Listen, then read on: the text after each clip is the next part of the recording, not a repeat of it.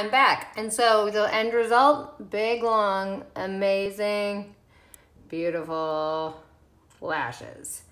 That's it. All I did, you can't tell so great. I love the extreme super eye too.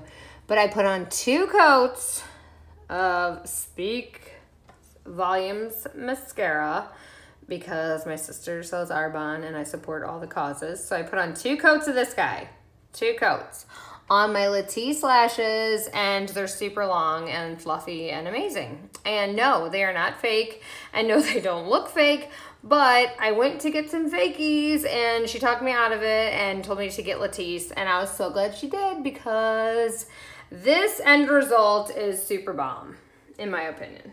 And if you like big fake lashes, you're gonna be like, mm, she doesn't have enough. But if you're trying to avoid the big fake lashes, highly, highly suggest Latisse.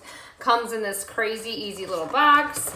All the thousands of applicators inside. Your cute little bottle of Latisse, which will last you forever. I can't even give you a time. I'm gonna say six months minimum, and if you're not wasteful, way longer. So um, enjoy. I hope this helped save some lady lashes.